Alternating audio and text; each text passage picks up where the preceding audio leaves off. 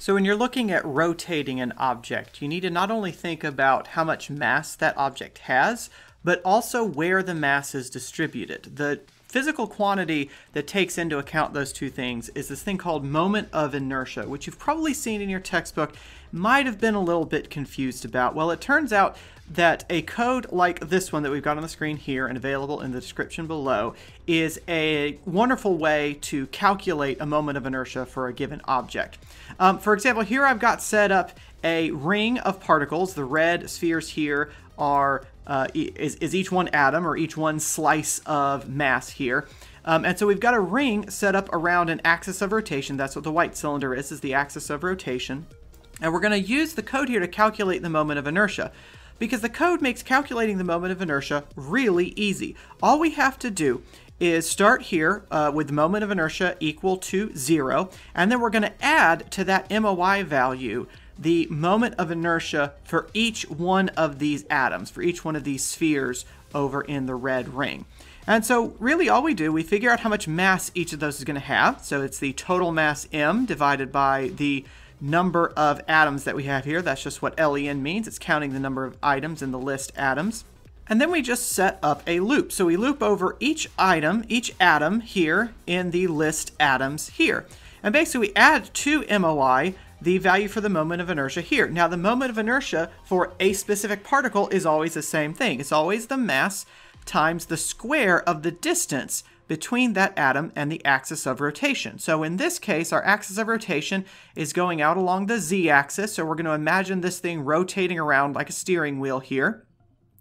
And so to get that distance, to get the distance from each of these atoms to this cylinder, we're not worried about how far away they are in the z direction. We're only worried about how far away they are in the x and how far away they are in the y. So that's just going to be the x position squared plus the y position squared that we have in the parentheses here. So once we've done that, we just add this calculation, the mass times the distance squared, to the moment of inertia, and then we're going to have it print the moment of inertia. Now we're going to have it printed a couple of ways. First, we're going to display the, the actual number, the actual value of the moment of inertia based on the value of m and r that we have. m is the mass of this whole thing, and r is its outermost radius.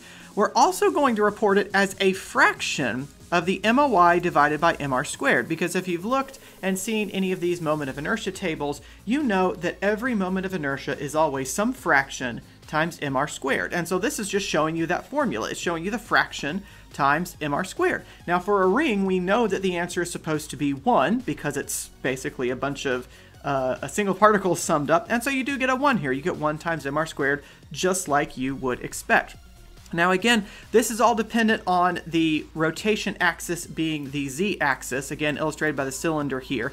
If you wanted to do a different axis, suppose you wanted to rotate the thing about the y-axis, like you'll be asked to do in uh, one of the problems at the end of this video, you would need to change this calculation. You can definitely change the cylinder up here, but again, this is just for visualization up here. You actually have to change the calculation down here to get the distance from the y-axis, so that's something you have to figure out as part of that problem.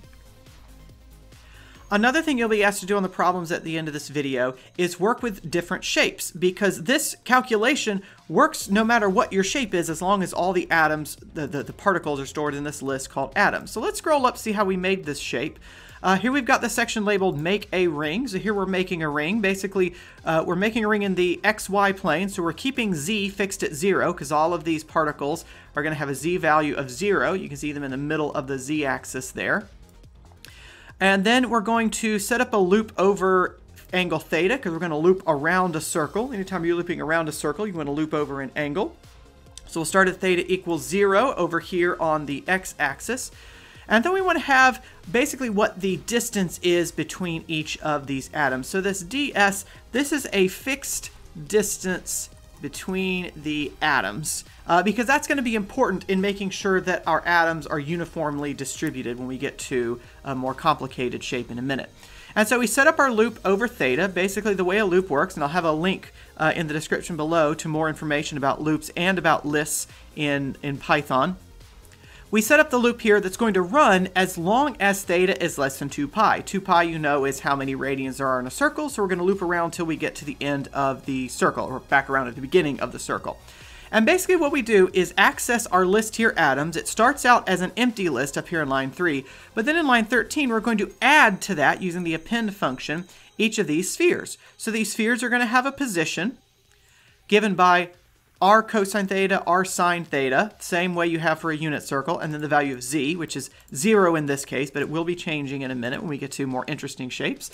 Uh, we give each of them a color, we give each of them a small radius, and then we increment theta. And the way we pick the increment for theta here is just using the arc length formula. So we take ds divided by r. If I wanted my atoms to be farther apart. So say, for example, I don't need them to be this close together. I could change this to a 0.2, and that's going to change my theta increment and going to make my atoms a little bit farther apart. I see I've got a little bit of bunching up here, but that doesn't really affect the answer here, it looks like. So it looks like that's an okay value. I'm going to stick with 0.1 just because the closer they are together, the better off we are. Although, as you'll notice, that the longer the code takes to run, the closer they are together. And so that's how we set up a ring. Another shape we might be interested in would be a hollow cylinder. So you can imagine taking this ring and copying and pasting it up along the z-axis, or basically taking this and extending it. I can do that if I set up another loop, which I've what I've done here under this section called make a hollow cylinder. What I want you to pay attention to here is that this section, starting with theta equals 0 and going all the way down to theta equals theta plus ds over r, lines 21 through 26 are exactly the same as lines 10 through 15 above. All I've done here is taken this earlier loop copied and pasted it over here. So this whole loop, this, this line 21 to line 26, this chunk creates a single ring. Then to create multiple rings, I've set up another loop outside of that. So this is a loop within a loop. So what's going to happen is we're going to loop over this ring once, then we're going to move forward in the z direction, loop over this ring again, then move forward in the z direction, loop over this ring again. And that's going to allow me to have a stack of rings that will make a cylinder. So the literally the only thing I've changed is added a loop around this loop. I basically wrapped one loop around the other. And now we're incrementing over z. We're going to go from z equals negative 0.5 to z equals 0.5. And then down here we increment z by a little bit. I've made dz 0.1. Again, the important thing is that it's a, a small number. Uh, let's run this and see what we get now.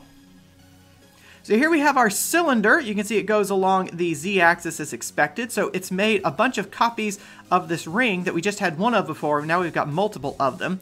And this uh, can still be run through the MOI calculation down here because this calculation down here to get the moment of inertia does not care what the shape is. It has no idea what the shape is. It has no idea how the atoms are distributed. It just knows there is a list of atoms, and as long as every atom is in that list, then this thing will calculate the moment of inertia. Now you notice we got the same answer that we did before.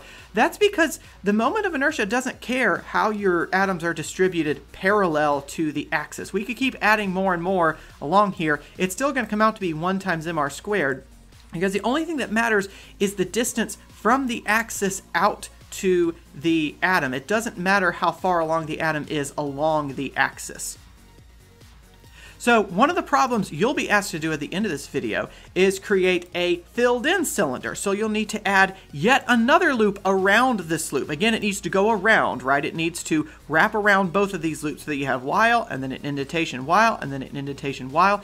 And you'll need to loop around the value of r, right? Because this radius r here is fixed. You'll need to loop that from 0 out to the maximum value to fill this in with more atoms to make it solid so that you can get the answer for that. Let me show you one other shape that we'll work with. Let's comment out the cylinder. And let's make a hollow spherical shell. So for this case, Again, we're working with the loop for a ring. So remember here you can see how the loop is the same. We've just added another loop on the outside. The difference is this time I'm not keeping, I'm not giving Z a nice um, even uh, spacing. I'm making Z go out to the radius R and what I'm doing is I'm changing this little value of r here. This is going to represent the distance from the axis. So this is the thing that's going in now for the radius of the ring. Let me show you how it turns out looking.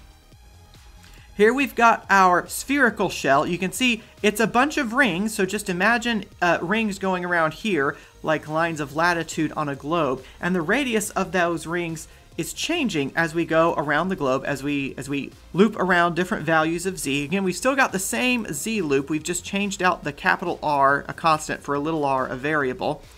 And what we end up with is this spherical shell, and we get out a value that is 2 thirds mr squared, just like we would expect from a moment of inertia table. So what I'm going to do is leave this code available for you in the description below with just the ring uncommented so that you can work with the simplest case first. There'll be a couple of questions asking you to try out different shapes. That's making changes to the loops up here. And a couple will ask you to change the axis of rotation. That's changing the distance calculation here.